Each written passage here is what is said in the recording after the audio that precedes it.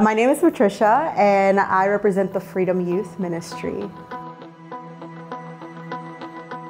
So Freedom Youth is a ministry for those who are 11 through 17 years of age. Uh, it's a great place for students to be able to come in and find the additional help that they need if they're struggling through something or maybe something is going on in their life and they just need a place to come and just connect and to find a safe haven to speak about their struggles. Freedom Youth will be a perfect place for someone to come in to serve if they have a heart to serve and to mentor kids and students who may be struggling through things. If there's someone that maybe they went through something as a teenager and have walked out of that situation and found um, healing with God, then they themselves can have great testimonies and stories um, that can encourage students to move through those things as well and into their own healing. So I've definitely been affected um, in just an incredible way serving in Freedom Youth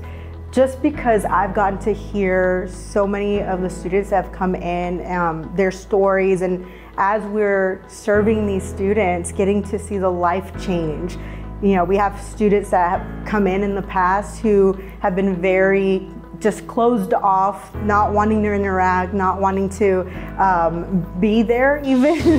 and you you know work with them and serve students and just get to encourage them and see life change happening in their lives and all of a sudden they're now wanting to bring their friends and they're wanting to do the games and talk during the conversations and it's just incredible to see that 360 change in their lives.